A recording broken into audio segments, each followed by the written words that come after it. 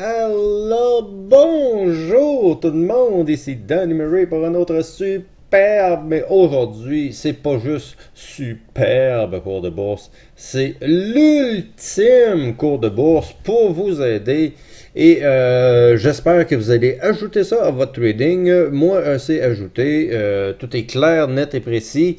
Euh, ça va être euh, d'autant plus facile euh, de caler les tops et de pouvoir à la limite shorter aussi ça si jamais on est là quand c'est le temps. Donc, je vous montre ça à l'instant. Aujourd'hui, on va parler d'un instrument extrêmement fort à la bourse qui est le MACD, mais on se fout un peu du MACD, c'est pas ça qui est important.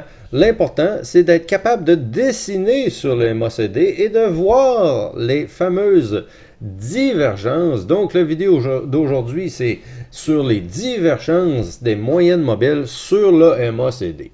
Euh, Demandez-moi pas comment ça se fait que ça arrive comme ça, mais euh, cette divergence-là, va nous dire en avance si on est dû pour continuer à monter ou si on est dû de se mettre à descendre, même si on est en train de monter. Et je vais vous montrer ça exactement maintenant. Donc, allons-y ici. Je vous ai mis trois beaux graphiques pour euh, vous expliquer un petit peu euh, comment que ça peut fonctionner, euh, toute cette histoire-là. donc, je vous le montre ici. nous avons, par exemple, un premier sommet. Le premier sommet va créer un sommet sur le MACD. Donc ça ici, c'est les deux moyennes mobiles. Donc ces deux moyennes mobiles-là, euh, j'ai pas joué avec, j'ai pas essayé de l'ajuster ou peu importe. C'est le standard 12-26-9. Donc euh, c'est le setting classique. Et qu'est-ce qu'il faut voir sur le fameux MACD? Donc, nous allons regarder ici, on va commencer à faire des beaux petits dessins. Donc, nous avons un sommet ici, qui se passe là.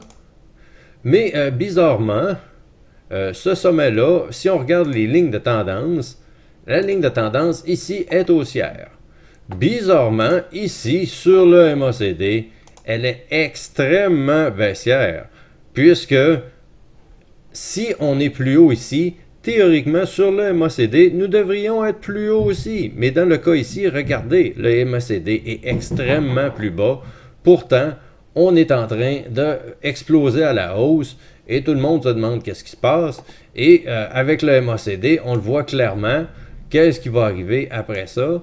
Regardez, une divergence, on diverge, on n'est pas d'accord sur le sens de l'orientation, et bizarrement, c'est toujours le MACD qui a le dessus, puisque c'est toujours lui qui a raison avant tout le monde, puisque ici, on voyait absolument rien que c'était le sommet, mais le MACD nous le disait extrêmement clairement.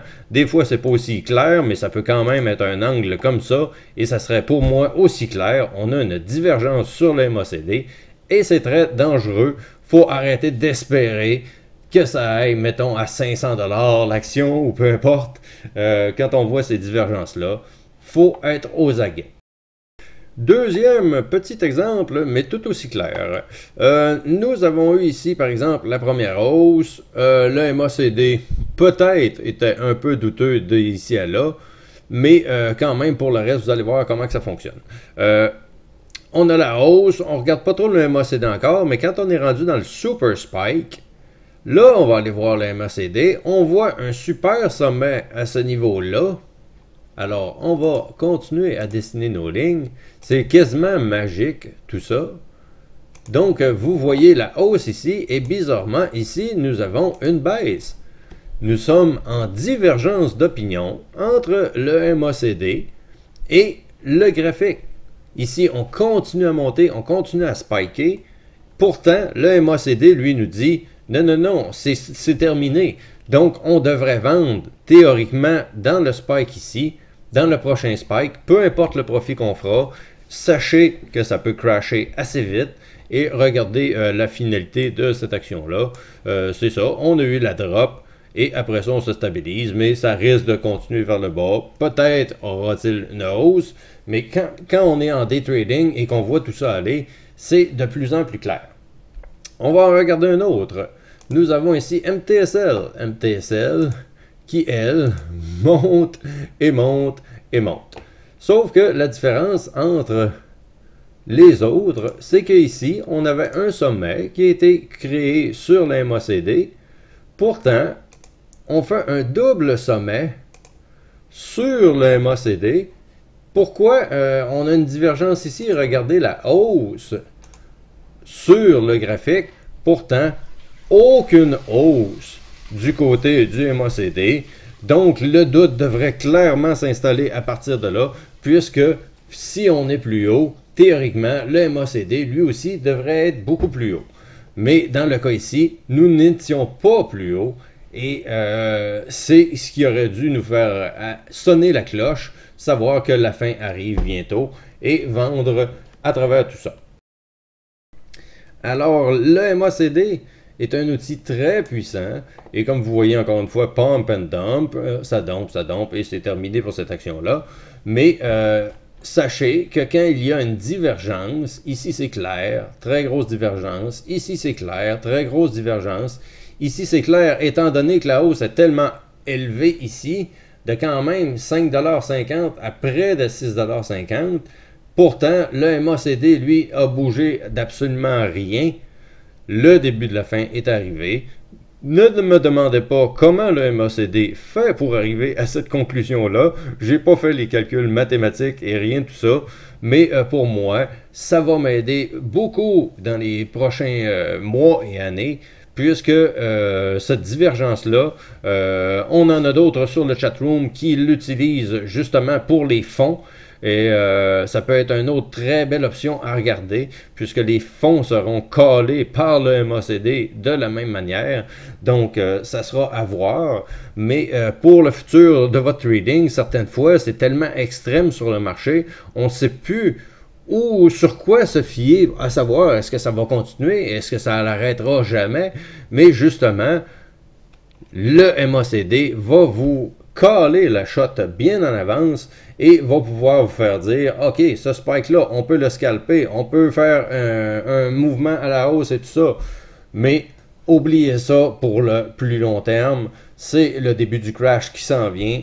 Et regardez à chaque fois qu'on a eu des divergences, le MACD retourne en bas de zéro, ici retourne en bas de zéro, retourne en bas de zéro.